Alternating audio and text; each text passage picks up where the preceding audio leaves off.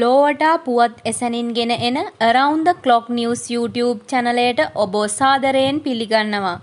මෙම පුවත ප්‍රසිද්ධ වෙබ් අඩවියකින් උපුටා ගන්නා ලද්දකි.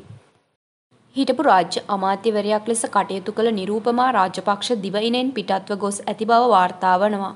වැඩි ආන්දෝලනයකට තුඩු දුන් දේශපාලකයින් ඇතුළු පුද්ගලයන් විසින් සිදු කෙරුණු බදු පැහැරහැරීම් අයථා ධනය රැස්කිරීම් සහ මුදල් විශුද්ධිකරණ කටයුතු ආදිය හෙළිදරව් කළ පැන්ඩෝරා පත්‍රවලද ඇයගේ නම සඳහන්ව තිබුණා.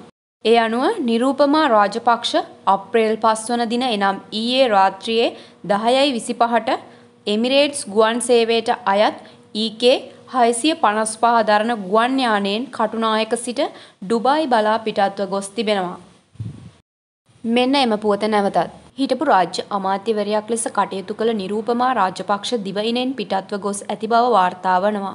වැඩි ආන්දෝලනයකට තුඩු දුන් දේශපාලකයින් ඇතුළු පුද්ගලයන් විසින් සිදු කෙරුණු බදු පැහැරහැරීම් අයථා ධනය රැස්කිරීම් සහ මුදල් විශුද්ධිකරණ කටයුතු ආදිය හෙළිදරව් කළ පැන්ඩෝරා පත්‍රවලද ඇයගේ නම සඳහන්ව තිබුණා.